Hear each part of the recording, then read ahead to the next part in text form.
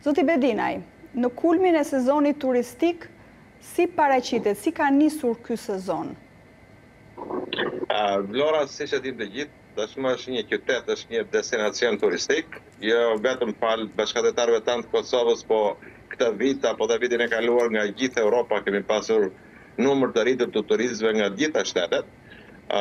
Ajo që vë re është që nuk është se ka një rënie të numrit të turistëve në qarkun e Vlorës.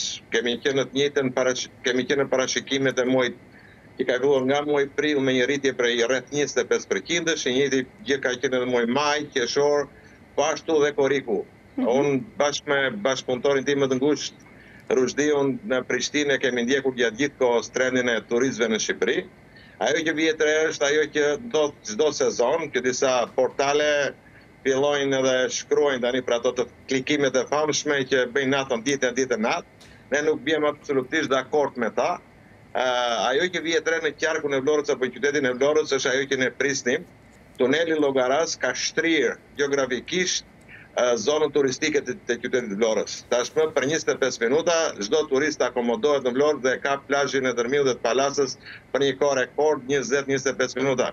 Nga Radhima ku është pjesa tjetër e hoteleve ka për pesëmbëdhjetë minuta.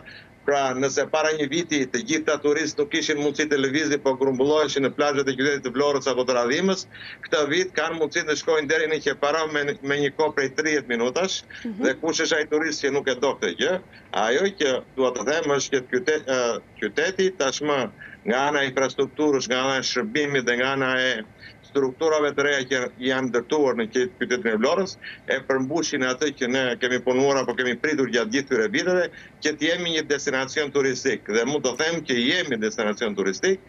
Patjetër që viti i ardhshëm do të jetë akoma më i mirë me ndërtimin e aeroportit dhe vënien e tij në funksion.